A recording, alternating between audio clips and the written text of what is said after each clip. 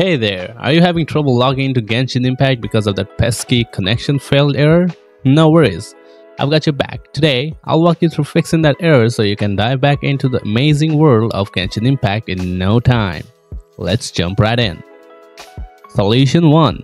Change your DNS server to a better one. First things first, open command prompt. Now, type ping 1.1.1.1 and hit enter to check the ping of this DNS server. Then type ping 8.8.8.8 to check the ping of this DNS server.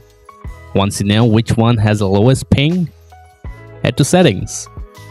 Then click on network and internet and then on ethernet.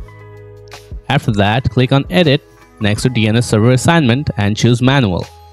Now, make sure IPv4 is on. In the preferred DNS box, add the DNS server with the lowest ping move on to alternate DNS.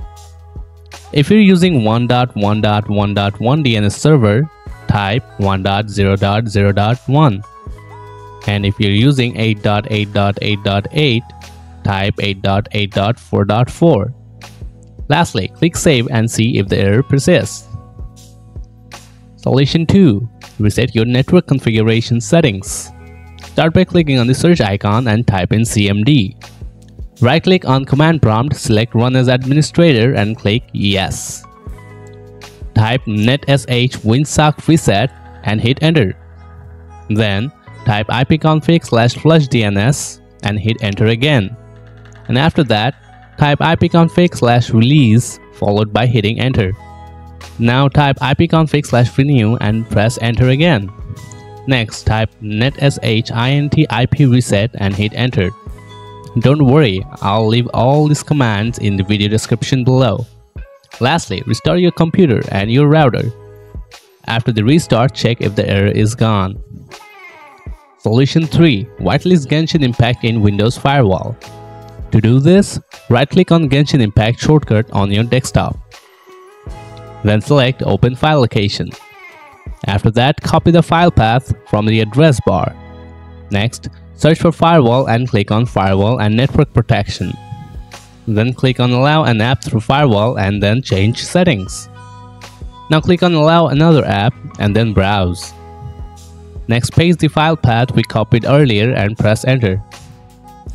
Double click on launcher and then click add. Then check these two boxes. Repeat the process for Genshin Impact inside the game folder. Make sure to do the same for the ZF game browser program in the plugins folder which is inside the Genshin Impact data folder within your Genshin Impact game folder. Lastly, click OK and reboot your computer. Once your computer boots up, you should be able to log in and play without encountering the error. That's it. You're all set to enjoy Genshin Impact without that connection fail issues. If this video helped you out, don't forget to hit the like button and if you have any questions, feel free to drop them in the comments below. And I'll get back to you soon. Thanks for watching.